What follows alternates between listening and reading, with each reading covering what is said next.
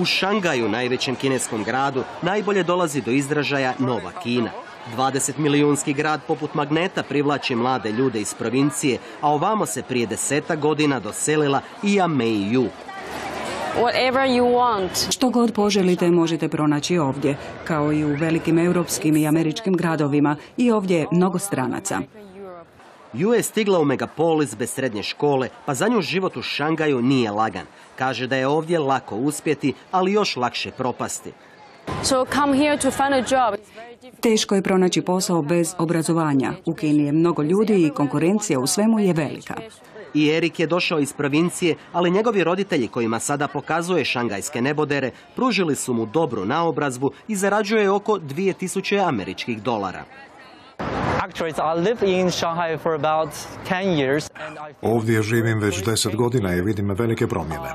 Zgrade s druge strane rijeke su sagrađene i život je u Šangaju vrlo dobar.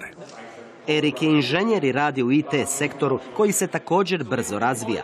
Kompanija Huawei je pravi tehnološki div. Zapošljava 170 tisuća ljudi diljem svijeta, a u inovacije na godinu ulaže 6 milijardi dolara.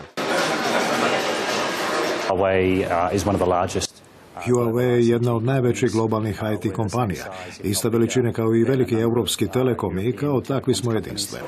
Kina postaje zemlja mogućnosti. Ovaj čovjek, Jack Ma, imao je viziju i danas je najbogatiji u Kini, a tvrtka Alibaba, koju je 90-ih osnovao u svom stanu, najveća je svjetska trgovina na internetu.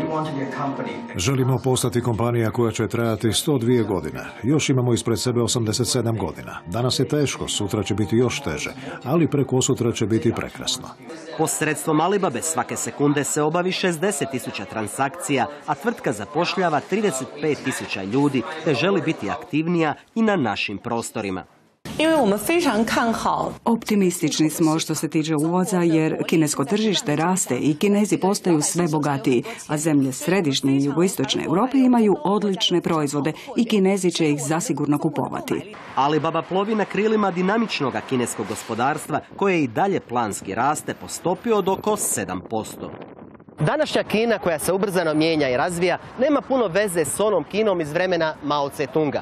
No njegov portret je i dalje ovdje na glavnom pekinškom trgu Tiananmenu kao podsjetnik da je za 25-godišnji razvoj Kine zaslužna upravo komunistička partija.